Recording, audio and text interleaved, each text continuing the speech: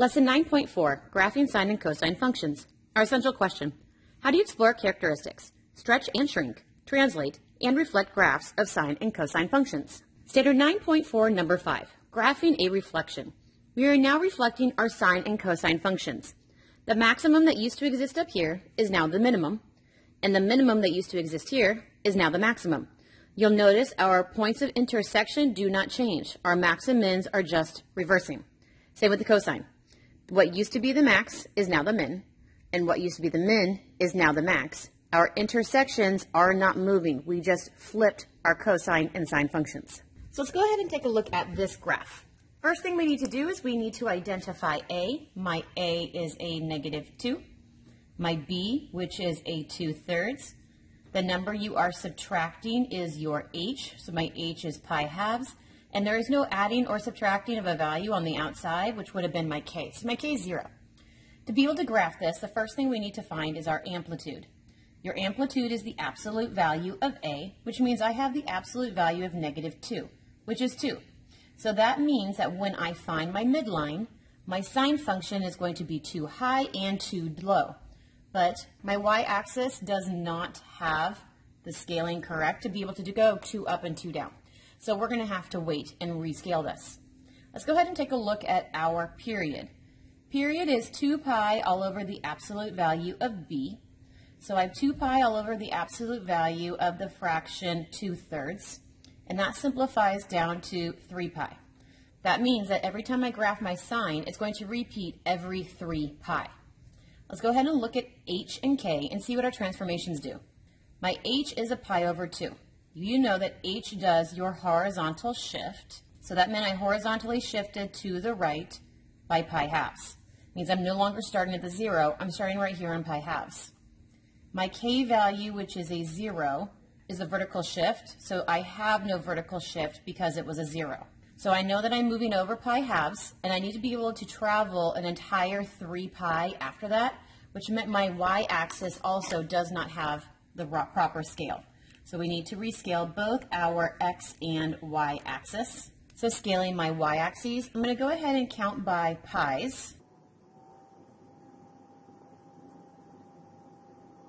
So to figure out my y-axis, let's go ahead and do our midline. We forgot to do our midline. Midline is y equals k, but my k is 0. My midline is still at the 0. I didn't move at all. So my midline is going to be right here and I need to be able to travel two more up and two more down from this midline. So if we just go ahead and scale it like this, we'll be able to fit. So now I need to figure out what my five key points are. And since this is a line of reflection, we need to make sure that we're doing our key points using the positive value of this. So we're going to do it doing the absolute value of negative 2 sine of the 2 thirds x minus pi halves. This will allow us to find the sine, the proper sine function, and then we just need to make sure we reflect it when we're done. Sine always has three x-intercepts, and the x-intercept needs to take into account that we have an x and a y transformation. So here's my x and my y transformation. My h is a pi halves, my k was a zero. So this is pi halves zero. Even though we are reflected, that does not reflect the intercept. My intercept is still right here at pi halves 0. Let's look at intercept number 2. Intercept number 2 still needs to take into account your h and k transformations. My b is a 2 thirds. My h is a pi halves. My k is 0. Solving this part of it first, I get 3 pi halves I'm supposed to add another pi halves. So this ends up giving me 2 pi 0. This is my second intercept right here. Sine has three intercepts, and we'll have still three intercepts.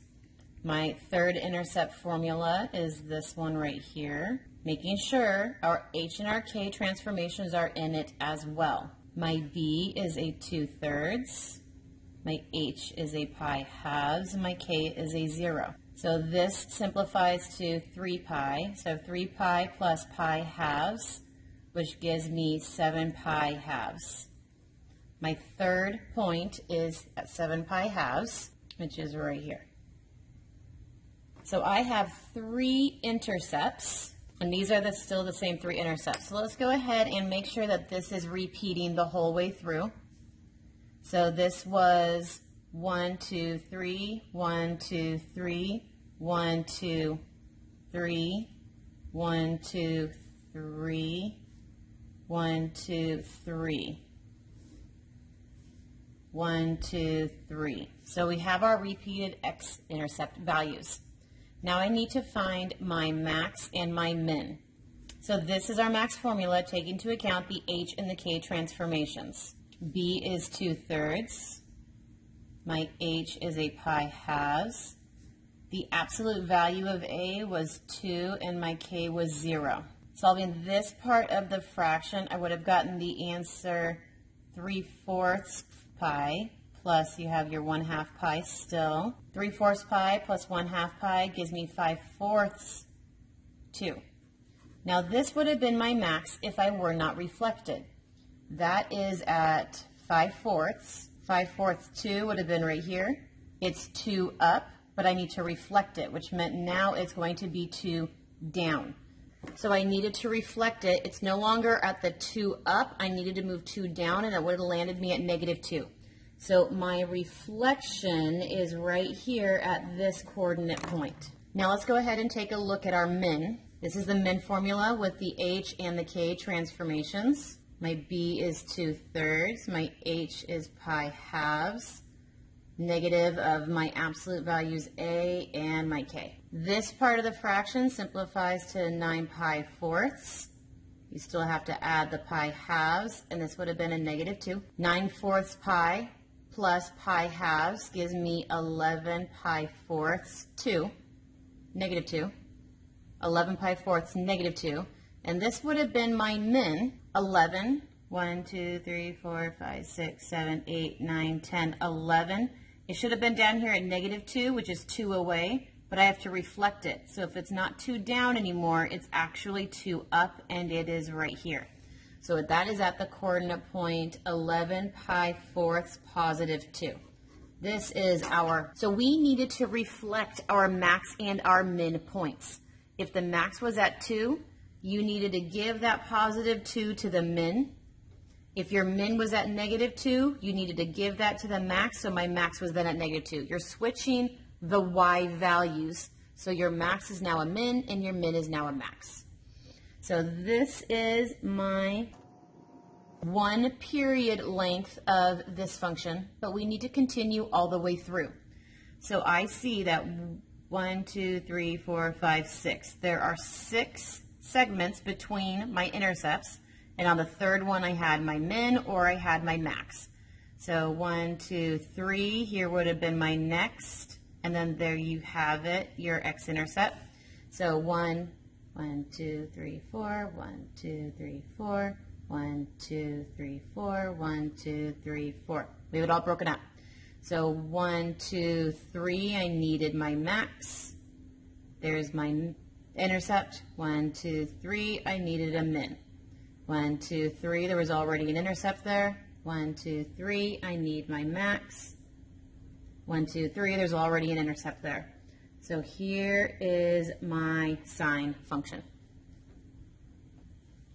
Okay, so what did we do? You need to reflect the y values of the max and the min. That is how you reflect the entire function. You need to make sure that you reflect the y values of your max and your min. Let's go ahead and take a look at our cosine function. First, we need to identify A. A is a negative 1. My B is a 1. My H is what I was supposed to be subtracting. So that was a negative pi halves. And I don't see an added or subtracted on the outside, so I have no K. Let's find all of our information first and then try and graph it. So first thing you need to do is we need to find our amplitude. That is the absolute value of A, which is the absolute value of negative 1, which is 1. Then you need to find your period. Your period is 2 pi all over the absolute value of b. So this is 2 pi all over the absolute value of 1, which simplifies down to 2 pi. Then you need to find your midline. Your midline is the y equals k formula. Since k is 0, my midline is at y equals 0, which meant it didn't move at all. My h, which is a negative pi halves, tells us our horizontal shift. And since it's negative, we know we are going to shift to the left, and we're shifting to the left by halves. My k is always my vertical shift, and since k is 0, I have no vertical shift. So now let's go ahead and find our five key points. Remembering sine and cosine have very different functions, so you have to be careful. Cosine has two x-intercepts. So let's go ahead and find our two x-intercepts. This is the first x-intercept. Take into account your h and your k movements. b is 1, h is a negative pi halves, and k is 0.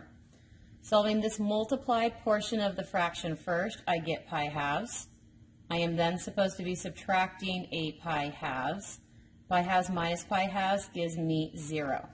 So my first x-intercept is going to be at the coordinate point 0, 0. What about my second x-intercept? The equation taking into account your h and k movements. My b is 1, my h is a negative pi halves, and k is 0. This multiplied fraction is 3 pi halves. We're supposed to subtract this pi half. So I end up having pi 0 as my second x-intercept. Now we need to find our max and mins. And remember, the max and mins are actually going to end up getting reflected. So let's go ahead and look for my first max. This is the equation of the first max. And we're using a as a value of 1, because don't forget, you're supposed to be solving all of this thinking that we have the absolute value of negative 1, this function. So my a is a 1, my k is 0. So I have the coordinate point negative pi halves 1. This is my non-reflected max. Let's go ahead and find our, our fourth point, which is the second max. My h and k are taken into account. My b is a 1. My h is a negative pi halves. I'm using the absolute value of a, which is 1. So this max ends up giving me 3 pi halves positive 1. These are the non-reflected. We'll reflect them in a minute. Our fifth and final point is my minimum, taking h and k into account. My b is 1. My h is a negative pi halves. I'm doing the negative of my a, which is a 1, and I'm adding the k of 0. This part of the fraction would have given me pi. I am then subtracting a pi halves. So I end up getting pi halves negative 1. Your y values on your max need to change and switch with the y value on the min. So that means this is actually a negative pi halves. It's stealing the negative 1. This is the reflected max that I will need to be graphing. This is then the 3 pi halves, and I'm stealing the min's negative 1. So this right here then is my reflected max. So I have my two reflected maxes, but their y value needs to be given to the min. So this is actually pi halves positive 1. This is my reflected min. So now let's go ahead and graph all of these points.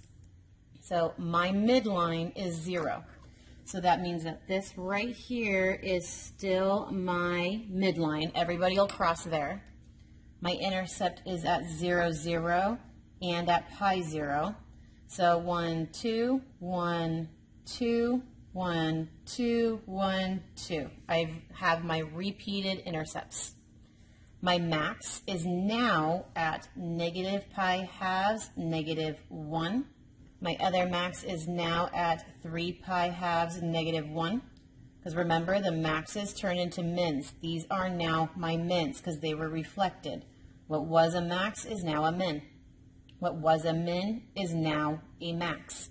And it is at pi halves 1. So this is my cosine. I need to make sure that every, I moved over 1, had a max, moved over 1, intercept, moved over one, min. Move over one, intercept, move over one, I now need a max, so here's my max. Intercept, max, intercept. So here is my cosine function. Let's go ahead and do this problem. Before we graph anything, let's find all of our information first. So first, I know that A is a negative 3. I see that B is a 1 half there is no parenthesis with an h, and I see that k is a 2. So finding all my information first, my amplitude is the absolute value of a, which is the absolute value of negative 3, which is a 3. My period. My period is the equation 2 pi all over the absolute value of b, which meant I have the absolute value of 1 half, which meant it simplifies down to 4 pi. So my period is 4 pi. My midline. My midline is the y equals k formula. My k is 2. So that meant my midline now is at y equals 2.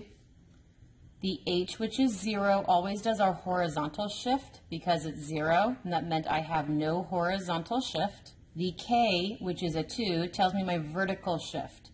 So I do have a vertical shift. I have a vertical shift up 2. So let's go ahead and get our x and y axis scaled appropriately. I need to shift my line up 2, which meant my y needs to be able to count to at least 2. But once I'm up there at 2, I need to be able to count up 3 more, which would have been 5. So 1, 2, 3, 4, 5, 1, 2, 3, 4, 5. I can now count up to 5. I am not shifting left or right anywhere. I start right here at 0. But I need to be able to count a period of a complete 4 pi, which I cannot. So that means I need to rescale my x-axis as well. And if I count these by pi's, I will be able to count a full 4 pi period before repeating. Now let's go ahead and look at our five key points, and we're not going to graph them until we found them all first. Sine has three intercepts, and all of them are going to intersect right here on this y equals we found.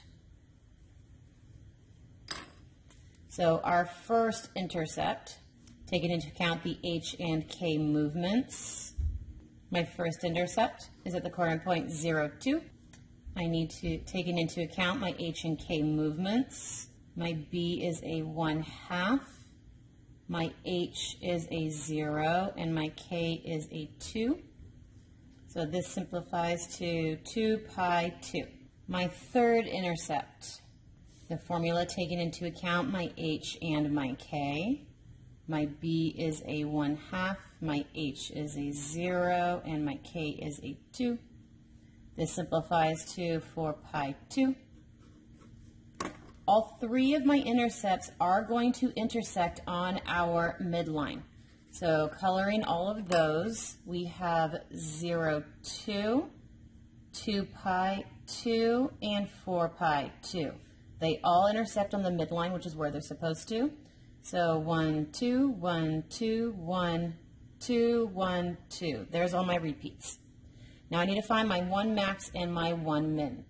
So my max, if I was doing it on the non-negative sine function, my max would have been the equation taking into account a, h, and k.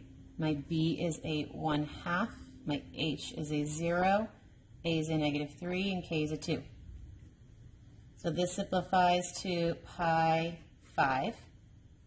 And my min equation, taking into account the h and k movements, b is a 1 half, my h is a 0, negative, my a is supposed to be a 3, and my k is a 2. So this simplifies to 3 pi negative 1. Now, what was a max is now going to be a min because he's switching y values with this guy. So he's actually going to be at pi negative 1. This is my min. And what was a min is now my max because it's switched because it's stealing his y value and turning it into a 5. Now, why did these switch? is because we are a reflection. When you are reflecting, your max and min are switching locations across the midline, which means what was my y now comes over here, and what was my y now comes over here. They switch their y values. So your max and min switch your y values. So I have a pi negative 1, and I have a 3 pi 1, 3, 4, 5. 3 pi 5. And double check. Are they three apart from each other? So if I'm on the midline, I went down 1, 2, 3. I found my min. I'm on the midline. One, two, three. I found my max. They are three apart from one another. So this is my sine. and now we just need to make sure that it gets repeated. So every whole value of pi has a new point. So whole value of pi, I have a max. Another whole value of pi, I now have my min. Whole value of pi, I now have my min. So here is my sine function. There are two problems left on the page for you to do for independent practice. Please do these on your own.